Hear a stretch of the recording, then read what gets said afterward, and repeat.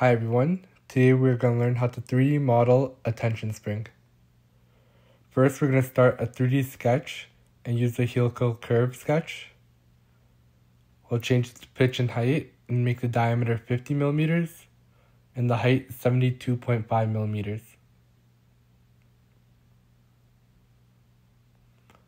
We're going to start the sketch at the origin and make it go along the x-axis. And then click OK.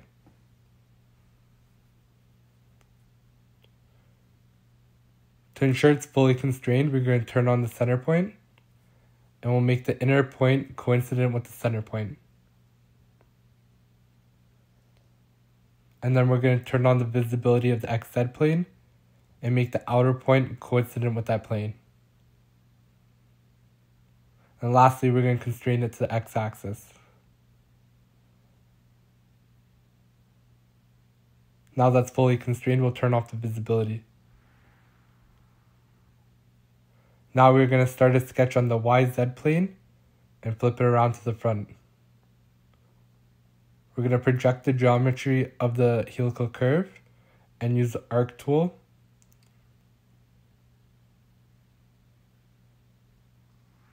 We're going to make the arc tangent to the helical curve. And then we're going to add a line from the center point to the two outer points of the helical of the arc and we're going to change that to construction. We're going to dimension it to have an angle of 75 degrees.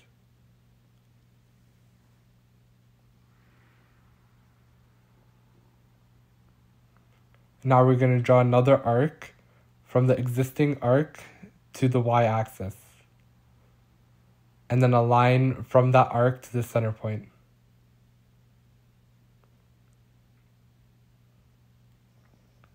We're going to make that arc tangent to the y-axis line and then make the two arcs tangent.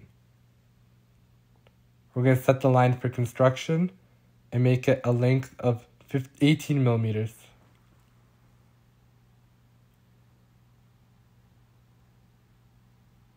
Now we have that sketch on the YZ plane, we're going to draw another sketch on the XY plane.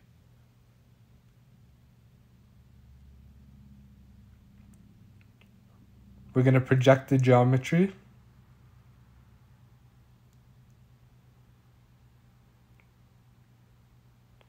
And then use the arc tool.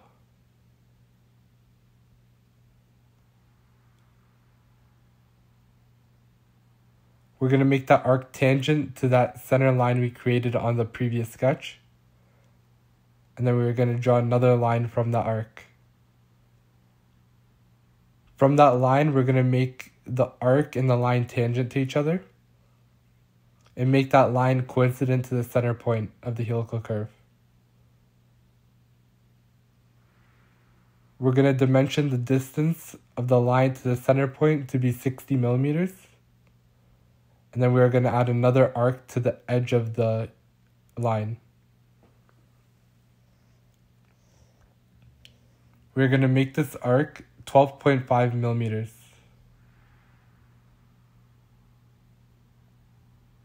And then we're going to use the vertical constraint to fully constrain it.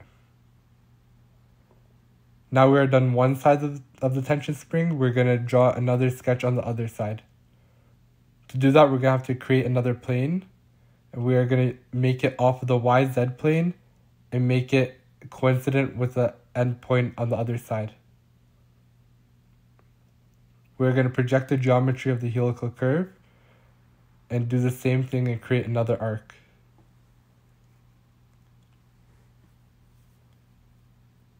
Again, we're going to make that arc tangent to that helical curve and then draw a line from the outer point to the initial point and make those two lines for construction.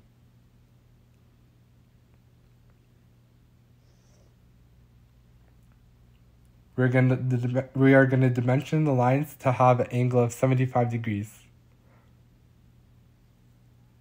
And then we are gonna do another arc again.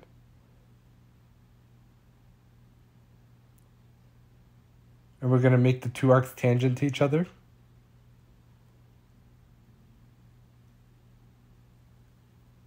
And then we're gonna line draw a line from the origin to the arc. and make those two tangent. Again, we're going to make that line for construction and make it a length of 18 millimeters.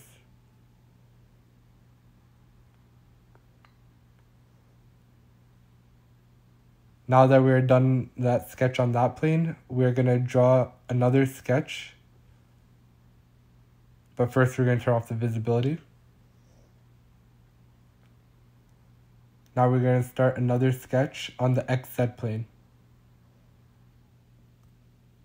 Again, we're going to project the geometry of the previous sketch.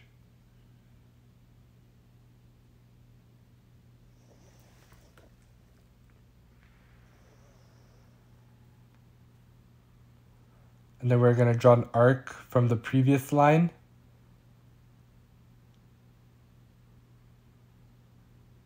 And make that tangent to the uh, line from the origin to the previous point. Then we're going to draw another line and make that line tangent to the arc. And we're going to make that line coincident to the origin.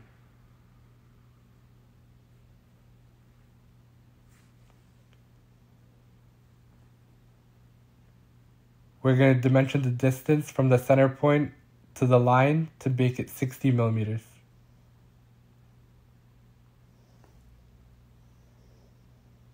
And now we're going to do another arc.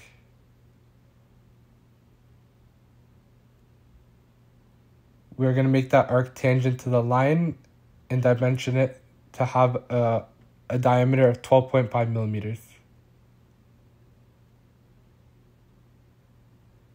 And then we're going to use the vertical constraint to fully constrain it. Now that we have the sketch for the tension spring, we're going to make it 3D and give it a profile now. To do that, we are going to create a plane off the arc to the outer point, and we're going to start a sketch on that plane.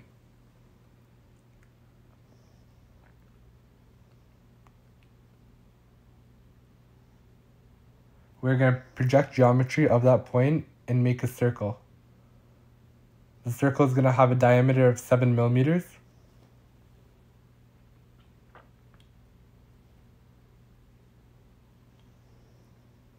We're going to turn off the visibility of the plane and use the sweep tool to create a 3D model. We're going to select the profile of the circle and sweep it along the edges we created. Make sure to click all the edges.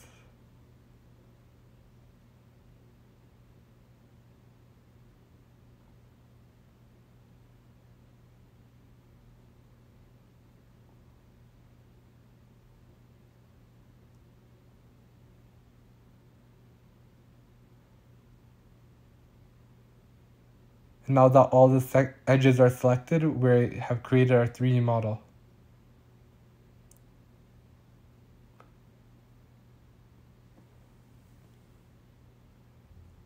We are going to change the appearance and we're going to make it aluminum polished.